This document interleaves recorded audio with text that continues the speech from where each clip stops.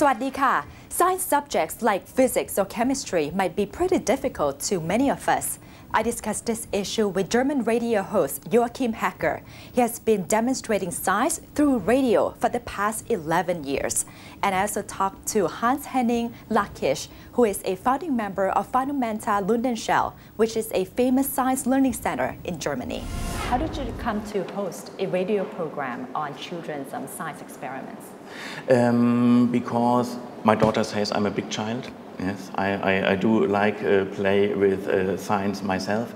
And uh, when I was young, I took part in uh, Youth in Research. It's a project in Germany where you make a competition. You, you make your own research and then you take part at a uh, competition for the, for the best research. And I took part and I, this was the first experiment I did on, on radio. And then the series started where I'm doing experiments on radio for 11 years now.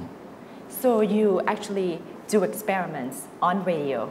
Yes. Mm -hmm. How do, do, you do that? Experiments, I thought we have to watch or see doing yeah, experiments. That, that, that, that's true. You have to, you have to explain them, them very good.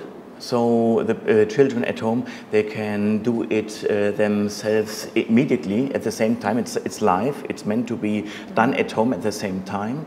And um, they, they do it indeed, or they do it in their mind and they, they, they do the same in mind and they came to very uh, astounding uh, conclusions. Uh, so they have, uh, it's, it's very good for the fantasy, for, for the mind, and um, you can, yeah, you can, uh, you can do it with your hands or just with your mind. It's both possible. What types of experiments do you do? Of course, on radio, uh, mainly acoustic experiments or experiments you can easily explain, not too complicated, but um, uh, I, I, like very simple experiments you can do immediately uh, with, uh, with things you have at home. Can you please show me examples of the experiments you do? Of course. A very simple one is you need just uh, a bottle with water. Yeah? Just shake it sometimes so the air inside gets very wet. Then you need some... That's just water, tap water? Ordinary water hmm, okay. mm, from the water crane. Mm. Then you need a match. Yeah? I put off here. Matches. Mm.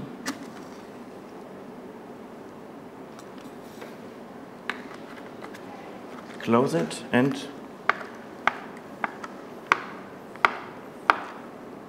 you get a cloud in the bottle. It's very easy. It's an instant experiment. You can do it within one minute. What does it show? It shows uh, it, uh, what is in the atmosphere happens when uh, there are clouds coming. Uh, you have the particles of the smoke from the match, and on these particles the water is condensing. If you, if you press, it gets a bit warmer, and if you release, it's getting a bit colder, and that's enough, this temperature difference, to, to condense inside and you have clouds. It's the same what happens uh, many kilometers above in the air, in the stratosphere and so. And but you can make it on Earth. Is this dangerous for children? You have matches um, as well? If you work with matches, you should have the parent with you, but it's not, it not, it's not dangerous. It's pretty simple to do. Did you I've, I've done it with ch children too. Oh, okay. Mm, and they love it. How old are the children that you're talking um, about? About 6 to, 6 to 12 or as I say, 6 to 99, because many adults, they are very interested into. How did you come it. up with all of these ideas of what to show on your program? Um, I'm playing much at home. I have a little lab and uh, my wife is not very excited about it. it is, uh, um, I do it in the kitchen and uh, there's a lot of, of stuff there and I, I, try very much myself. I look into the internet, of course, to get inspiration, but it's all, I, I test it all myself before I do it on, on broadcast, of course.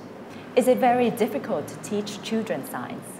Yes, it is. In one way, it is very difficult because if you teach children something or you want to explain children something, you have to understand it yourself. If you explain something to adults, you must not have understand it. You can, uh, yes, you, you, you just say a few words, uh, or, uh, but if you explain children, they, they, they ask, they have no respect, they ask if they do not understand, So you have to understand it yourself.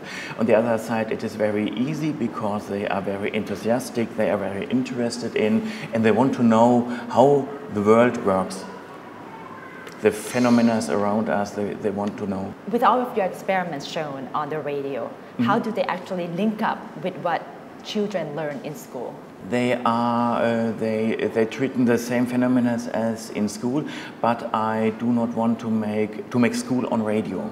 I want to make fun on radio, to get them interested into science, to show them science must not hurt. It is very interesting and science is fun, though they are fixed on and they are interested to get uh, to, to make science themselves and they have no fear later if science in school, in physics, in chemistry, on biology becomes more complicated. So they are still interested and have no fear, no, no, no, no brick in front of their head. So they like to do science and I hope personally that more uh, children will, will deal with uh, science uh, later, will study scientific subjects and um, yes, so the scientific com community is increasing a bit more.